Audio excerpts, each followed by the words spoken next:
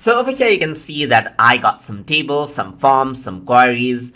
And if you want to see their dependencies, let's say for example, you want to know where the data are linked out, then what you can do is you can go around onto database tools right here. And over here you can see object dependencies is an option. Once you click over here, then what happens is that over here you can see it says object that depend on me. That means objects that is dependent on table 1 or table 2. It's uh, queries generated from right here and an example project as you can see right here. Similarly, if you want to see the dependencies of table 2, you have to select table 2 first over here and then click on refresh and over here you can see table 2 so now you know that table 1 is dependent upon this and then queries are there. So if something happens to this table right here if you delete it then all of these will be affected.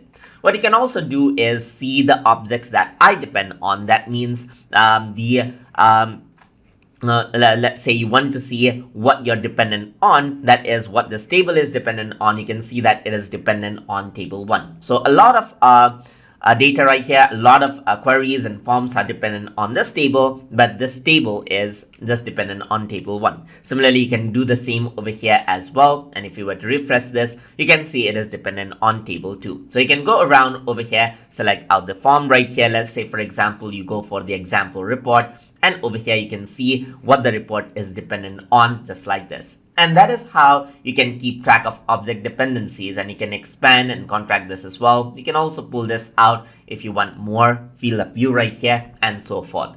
So hope you guys learned something as always. And as always, please like, comment, share and subscribe.